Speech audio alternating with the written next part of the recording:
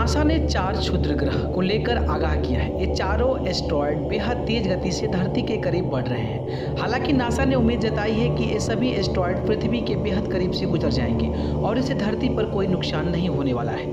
ये एस्ट्रॉयड 21 और 22 मार्च के दौरान पृथ्वी की कक्षा के बेहद पास से गुजरेंगे।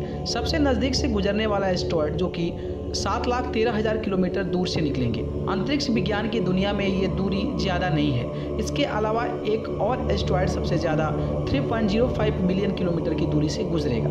इन एस्ट्रॉयड को 020 एफ़ के 2020 FS 2020 DP4 और 2020 FF1 का नाम दिया गया है।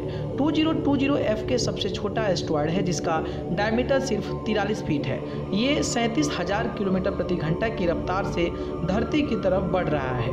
2020 FS की डायमीटर 56 फीट है, जबकि ये 15000 किलोमीटर प्रति घंटा की रफ्तार से आगे की तरफ़ बढ़ रहा है। यह भारतीय समय के मुताबिक रात आठ बजकर उनसठ मिनट पर गुजरेगा। रविवार को सबसे बड़ा एस्ट्रॉयड 2020 DP4 धरती के करीब पहुंचेगा। ये चारों में सबसे बड़ा है, इसका डायमीटर 180 फीट है, जबकि सैंतालीस किलोमीटर प्रति घंटा की रफ्तार से आगे बढ़ रहा है। इसके अलावा 2020 FF1 की डायमीटर 48 फीट है। 23 मार्च को 2020 DP4 भारतीय समय के मुताबिक रात बारह बजकर चार मिनट पर गुजरेगा। बाकी 2020 FF1 तड़के तीन बजकर उनतालीस मिनट पर निकलेगा। फ़िलहाल इससे किसी तरह के नुकसान की बात नहीं की गई है, लेकिन नासा की इस घटनाक्रम पर पूरी नज़र है।